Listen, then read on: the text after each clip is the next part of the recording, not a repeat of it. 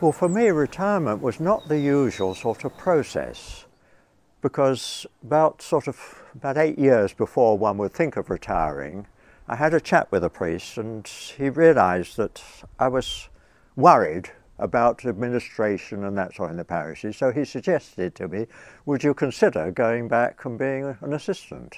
And I, I never even thought of this, but yes, I thought, oh, well, I'll try it. And so wheels were put into motion and Bishop Tripp eventually found a parish for me and that's how I ended up at Addiscombe as an assistant to a parish priest who was about 20 years younger than me.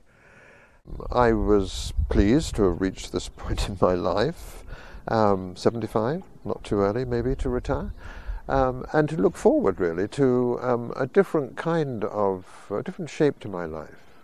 When I uh, left the parish, a small boy said, Will you still be a priest? Which is a big question. And I think I want to say, Yes, I am, but the way in which I will be a priest from now on is changing and um, I'm up for that.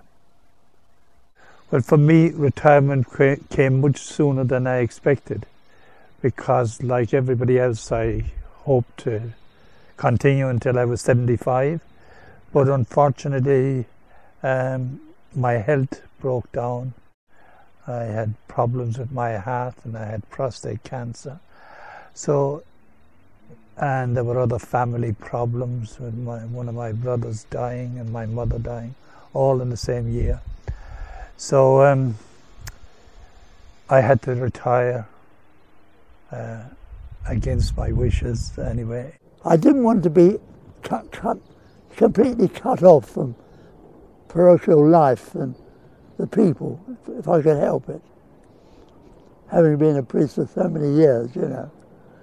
That was my only worry. And it turned out very well. I was able to sort of retire gradually, as you, I told you. I've always regarded a sort of bereavement because you're leaving the parish where you've been happy, hopefully, and you've got to go there and you're on your own probably you'll move away from the diocese, from the parish where you've been. You've got to find a new doctor, you've got to find a new dentist, you've got to find a new garage for service of your car. There's so many things that happen on the actual moment of retirement, so it keeps you occupied for a time. And then after a little while, you suddenly realise that, that you're free. And sometimes it occurs, well, what am I going to do today? But things seem to turn up, you find, find plenty to do. Life was always busy, always full. There were things happening at school, things happening with staff that you could you could go out with them. We'd go, uh, you know, at the end of a school day, the end of a term. There was lots of festivities going on, so you had a built-in social life. If I finished work, what would happen to that social life? And I thought, well, if I wanted to, I could close the door on my life at the moment and enter what would be a very empty room. And I've no intention of doing that, and I had no intention of doing that. My hope was to have more time for my friends, um, more time with people, um, and maybe to um, develop some interests of my own that um, that, uh, that that I haven't had time for. Um, more time for my family, um, and I think to to sit alongside people um, rather than being um, sometimes in front of them or um, in a role of leadership. I, I, think I want to rediscover my baptism really alongside people. I mean, if I'd been retiring and no, wasn't certain about what I was going to do, it would been a different matter. But I knew exactly what I was going to do.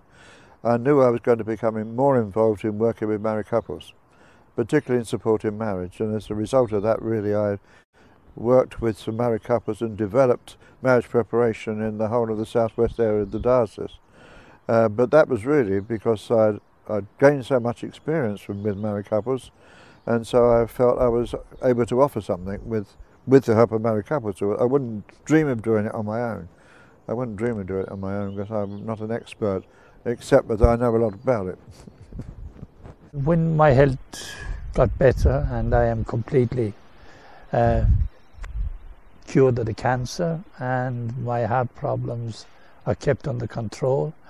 I'm able to walk again uh, in a local parish at um, the English Martyrs in Streatham where I say Mass every week, every Sunday, and help out in other ways I, when, when I can. And they've been marvellous to me as well because I've been doing it now for over 10 years. The hardest thing in my retirement is, is being incapable of walking, being and uh, getting deaf, and uh, uh, being uh, weary sometimes, and thinking uh, how much longer. You know, uh, I don't want to go on forever. I would rather die in harness, as it were, really. For priests considering retirement, the diocese wants to ensure that they have a reasonable um, place to live in, that um, the, the, the, manner in which their lives uh, will, will be lived uh, will provide for them to fulfill their priesthood and also to ensure that uh, they have sufficient financial support to ensure that they are never um, in grave need. I felt very innocent uh, in, in looking for somewhere to live for myself, but various people helped, and in, and amazingly, something did turn up that, in many ways, was very suitable for me, and so I was lucky.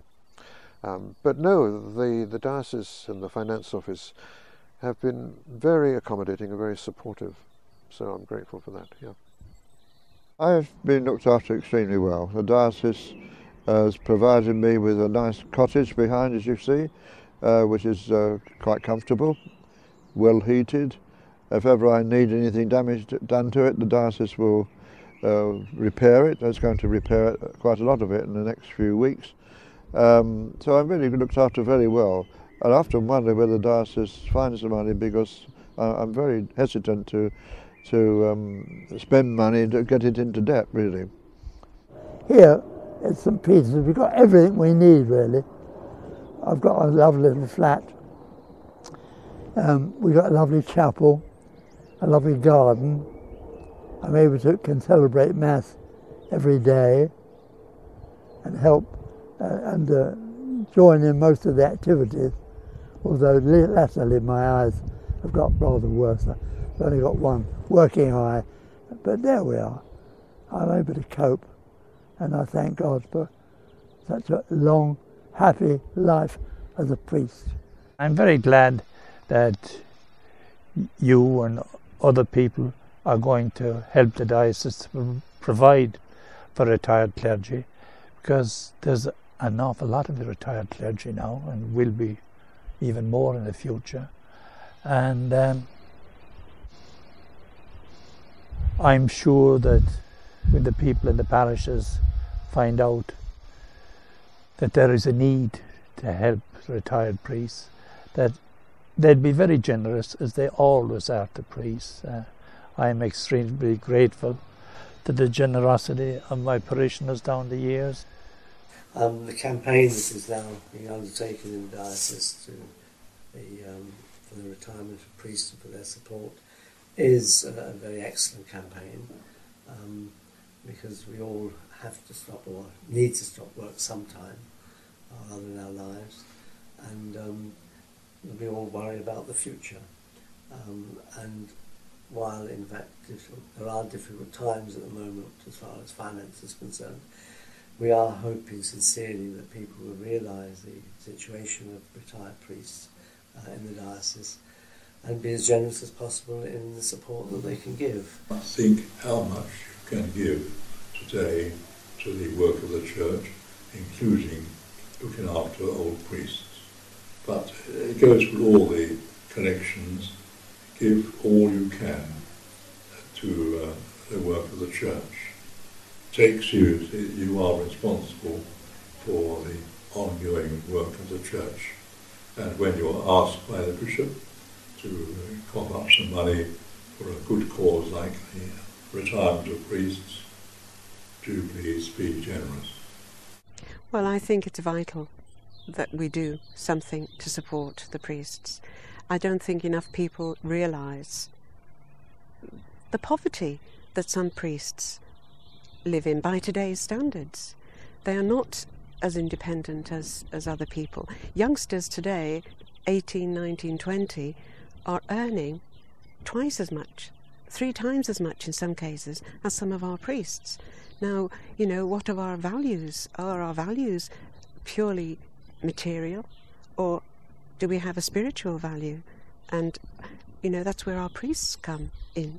They help us to grow spiritually, and we have to put a value on that in today's terms. Gone are the days when it didn't matter because everybody contributed what they could. Now people have other priorities because of the way society has developed and, and grown and spread its wings and the importance that materialism has for so many people. But if we're going to value our priests, and make sure that they do not fade into insignificance after the, the dedicated lives that they have lived, after what they have done for every single member of the parish, because that's what they're there for. And who is the one we turn to if we need something? It's the priest. Who do we send people to? The priest. And we expect them to be there. Well, I think it's time we stepped up and we did put our money where our mouth is certainly put our money where our heart should be.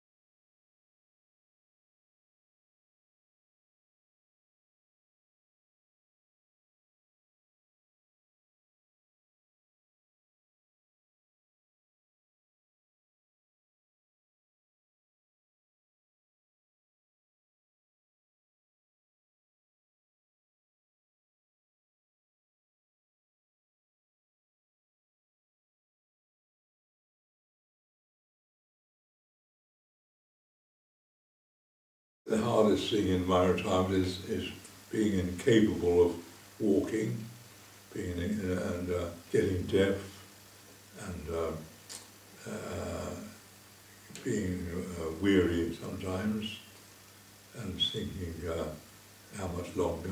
You know, I don't want to go on forever. I would rather die in harness, as it were, really, as old Archbishop Cowderoy said.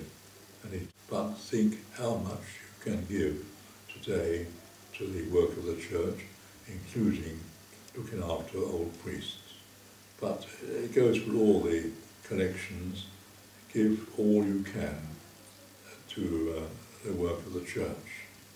Take seriously that you are responsible for the ongoing work of the church.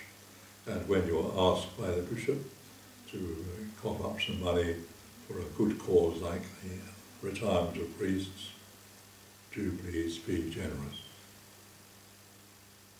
Uh, um, the campaign that is now being undertaken in the diocese to the, um, for the retirement of priests and for their support is a, very excellent campaign um, because we all have to stop or need to stop work sometime or other in our lives and um, we all worry about the future. Um, and while in fact there are difficult times at the moment as far as finance is concerned, we are hoping sincerely that people will realise the situation of retired priests uh, in the diocese and be as generous as possible in the support